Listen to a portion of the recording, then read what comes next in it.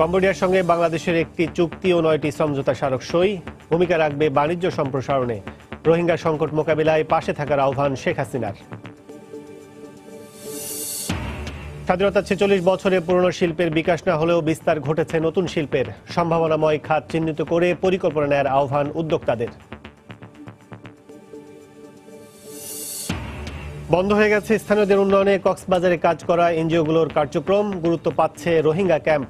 সুবিধা বঞ্চিত হচ্ছেন এলাকাবাসী। এবং চট্টগ্রামে গণপরিবহন মালিক সংগ্রাম পরিষদের ডাকে অনির্দিষ্টকালে ধর্মঘটের দ্বিতীয় দিন আজ শহরে গণপরিবহন চলাচল বন্ধ, যাত্রী ভোগান্তি চরমে।